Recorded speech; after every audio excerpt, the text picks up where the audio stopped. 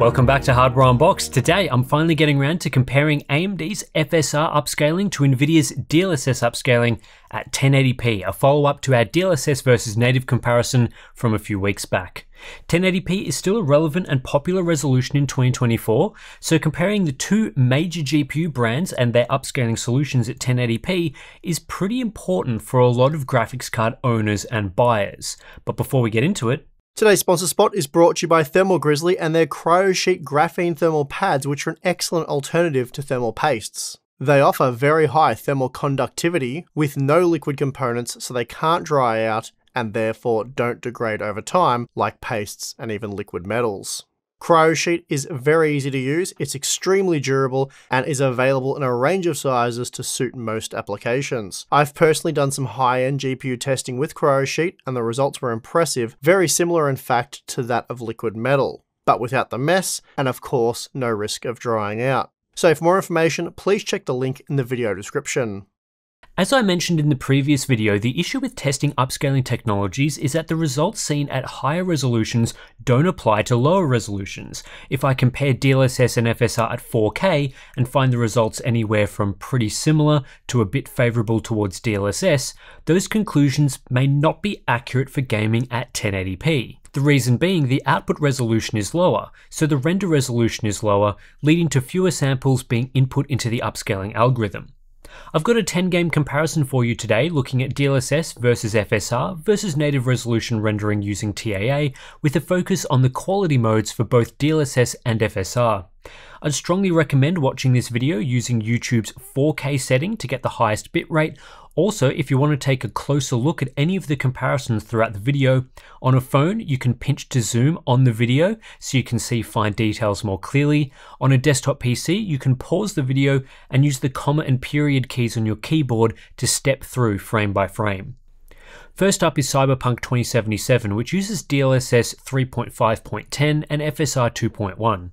What was interesting to observe here is that FSR does a better job than DLSS at preserving ground textures.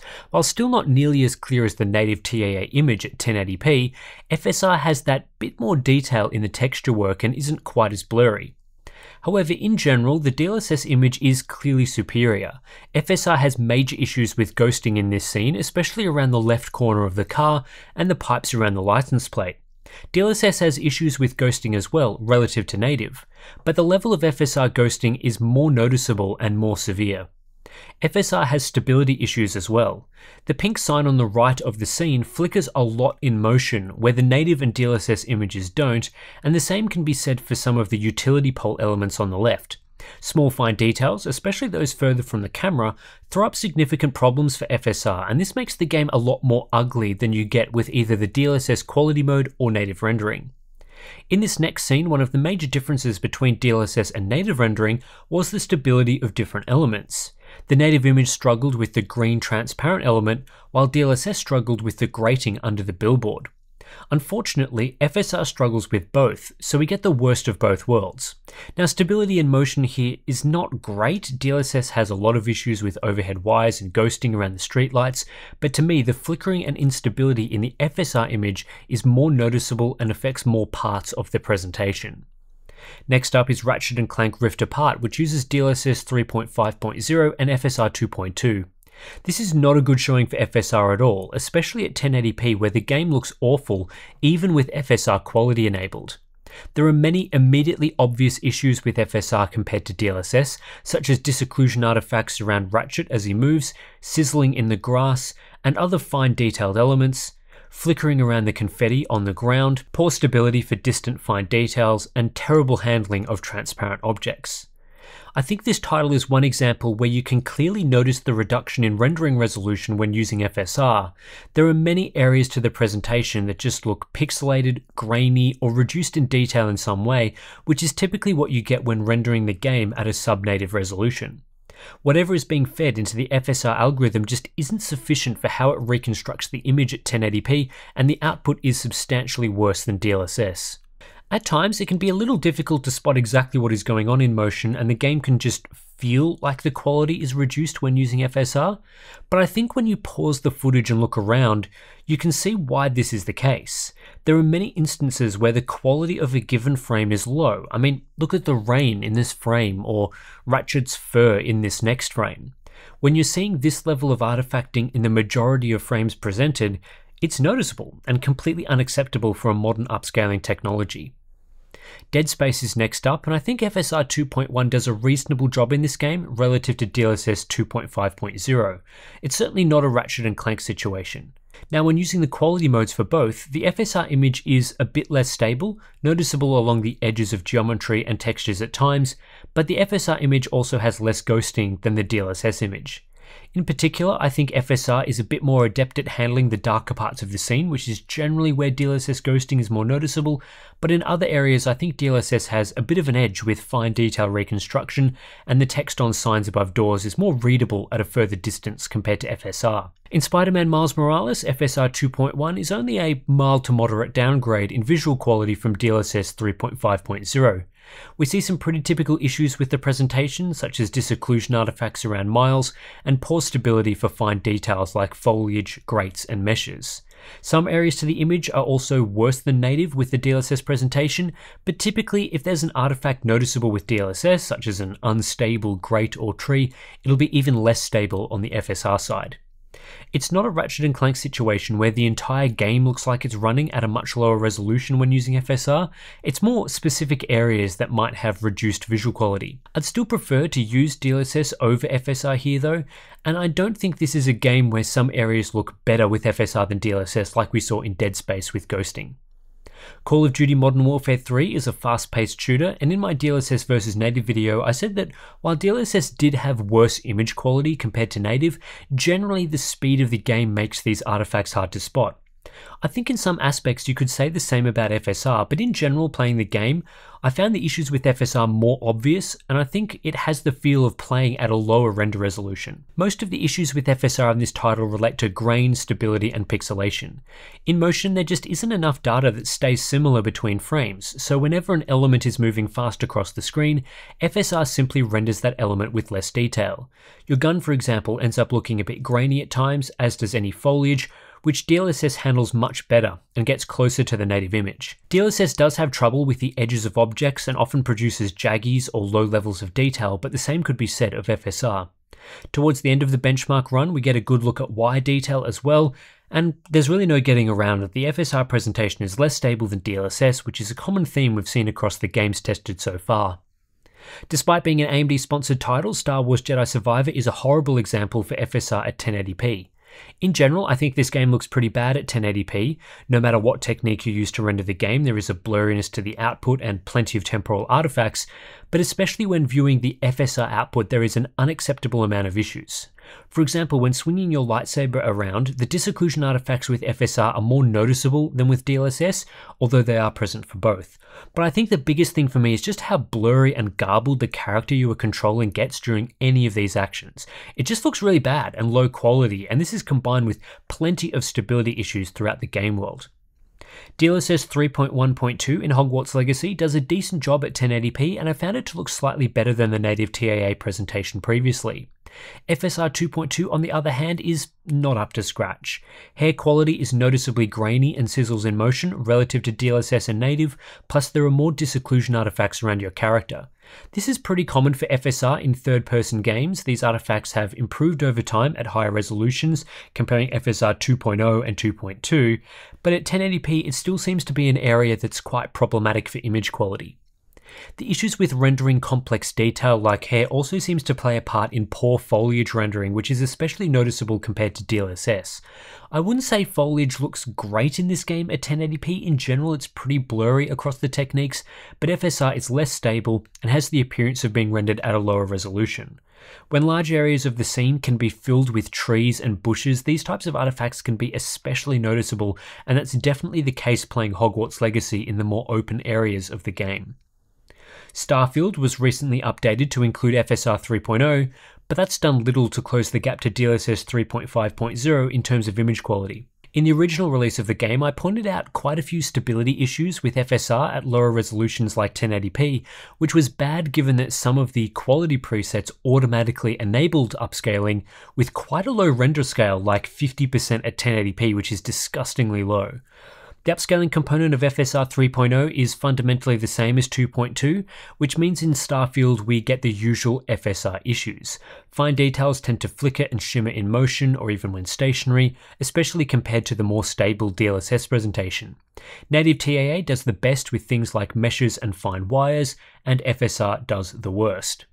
How problematic this will be depends on the scene. There are some areas like this one where I was pretty disappointed in both DLSS and FSR with lots of noticeable artifact issues using the quality mode at 1080p. The Talos Principle 2 is a very bad showing for FSR at 1080p using the quality mode. In motion, the image is very grainy and has poor stability, especially for textures, foliage, and fine details. This is a game that has a generally decent level of detail, and when you compare FSR to DLSS, it simply falls well short of an acceptable level and is poor compared to native rendering.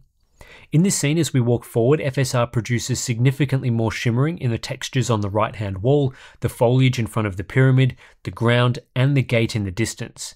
This is really obvious playing the game, and like with Ratchet and Clank, it's clear when using FSR that the game is being rendered at a lower resolution. DLSS is relatively okay here and certainly gets much closer to the native image in terms of overall quality. Last game we have here is Assassin's Creed Mirage, which uses the outdated DLSS 2.3.1 as well as FSR 2.1. It's a pretty common theme here. The differences we've seen between native, DLSS and FSR in other games also applies to Mirage.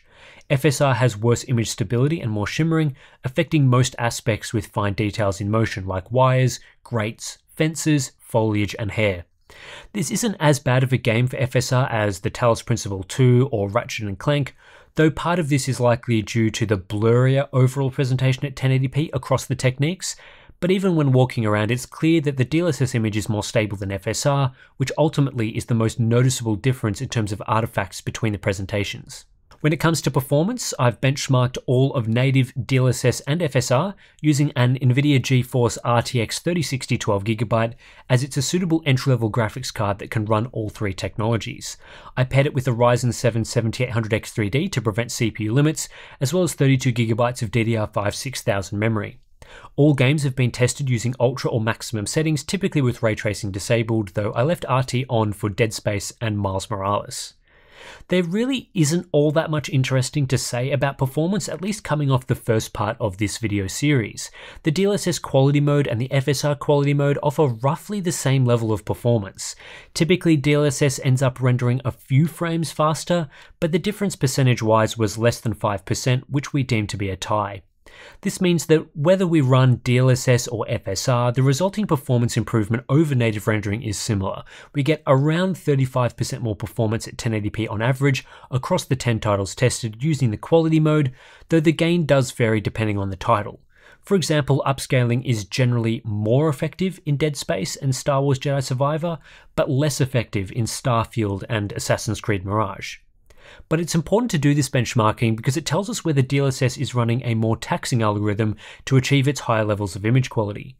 On GeForce hardware, that doesn't appear to be the case, and when we've assessed it previously, Radeon graphics cards typically receive a similar performance uplift from FSR relative to GeForce at the same base frame rate. It's simply a matter of DLSS using hardware AI acceleration on the tensor cores to run its reconstruction algorithm, whereas FSR relies entirely on shader processing. Having now spent quite a lot of time testing various upscaling techniques at 1080p on a native 1080p monitor, I think the conclusions that can be drawn here are much more straightforward than at higher resolutions. Native rendering is king, delivering the best image quality most of the time. DLSS is in second place, typically reducing image quality, though in some circumstances this can be worth it for the performance improvement. And in a distant third place is AMD's FSR upscaling technology. The simple reality of the matter is that FSR it's bad at 1080p, even using the quality preset, typically the highest upscaled setting on offer in games. In most of the games tested, FSR doesn't really get close to native rendering, though results do vary as we've seen in the past. Some games are better examples for FSR with less noticeable artifacts, other titles have horrific image quality that makes it clear the game is running at a lower render resolution. The overwhelming majority of issues associated with FSR are from poor image stability. Shimmering, flickering, sizzling, graininess, jaggies, disocclusion artifacts, and poor fine detail reconstruction are all typical issues with FSR in games at 1080p, and this can be problematic both in motion and in static scenes. There is also some level of detail loss, like with DLSS, generally creating a blurrier image than native rendering, but this is far less annoying while gaming than the constantly unstable presentation. It's pretty much no contest at 1080p in the battle between DLSS and FSR. Nvidia's upscaling technique wipes the floor with FSR. While it's a toss up whether I'd consider using DLSS at such a low resolution, I would typically choose to avoid using FSR at 1080p because the image quality it produces is bad and detracts from the gaming experience. This is a very different conclusion compared to testing DLSS and FSR at higher resolutions. Back when I compared the two across 26 games last year, I found that FSR at 4K using the quality mode was similar or only slightly worse than DLSS in 17 of 26 titles. That number dropped to just 8 titles at 1440p using the quality mode with no ties. At 1080p, that number would probably drop to just one or maybe two games best case scenario out of the 10 tested, again with no real effective ties. As 1080p is still quite a popular resolution, especially among mainstream and entry level gamers, I'd say this is a pretty big problem for AMD. A lot of the best Radeon products are in these price segments, like the RX 6600, which continues to be one of the best value GPUs on the market. AMD is the most competitive in the lower segments where cards are more suited to 1080p and 1440p gaming, yet it's here where FSR is even less favourable relative to DLSS and in many instances just isn't worth using. Simply put, AMD needs to improve FSR upscaling at lower render and output resolutions. It's very disappointing to me that FSR hasn't received any significant improvements to the upscaling component since FSR 2.2 was released back in November of 2022. That's 16 months with zero upgrades, the only change being the addition of frame generation in FSR 3. When your technology is lagging behind your competitors to this degree, that's extremely poor. There have been rumours recently that AMD are working on an AI assisted upscaling technology, though it's unclear when it's arriving or if it's even destined for PC GPUs rather than game consoles. If this is true, AMD needs to get it out the door as soon as possible so game developers can begin integrating it into their titles and engines because we know how long that takes. But it feels like we've been saying that a lot about AMD GPU's features lately, so let's hope it doesn't launch late and half baked. Anyway, that's it for this look at DLSS versus FSR versus native rendering, well, native using TAA, at 1080p across a range of games. If you do appreciate this sort of testing, then please consider subscribing, like the video, and we've also got our Patreon Floatplane accounts. Links are in the description below. If you sign up, you'll gain some exclusive access to things like our Discord community. We've got monthly live streams, BTS content, plenty of good stuff in there. So thanks for watching, and I'll catch you in the next one.